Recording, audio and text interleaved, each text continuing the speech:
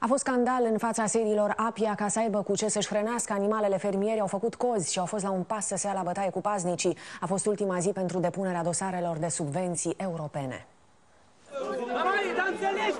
Stai o liniște de acolo, acolo înțelegi! Când te-a luat cu soarele în cap, stai acolo, măi!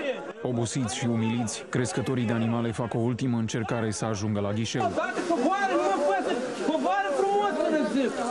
Dacă trec de paznici și dacă depun actele, fermierii pot primi anul acesta câte 400 de lei pentru o vacă și 40 de lei pentru oi sau capre. Nu mai, nu mai, gata, o intră aici! Cei mai mulți fermieri sunt de două zile în fața sediului APIA. Au făcut liste de așteptare și le-au dat pasnicilor. Dar eu te uite, eu te înțelege, Matalica, mă tai dezbătări. de 80 km.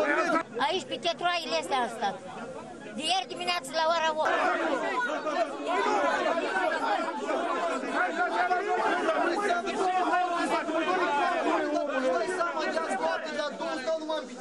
Bun, și știi și eu pe cine să stau aici să știu eu?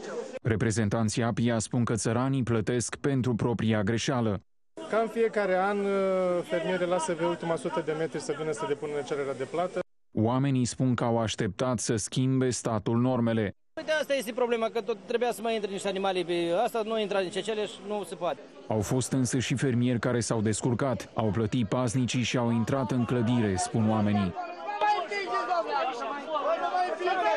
Що? Що? Що?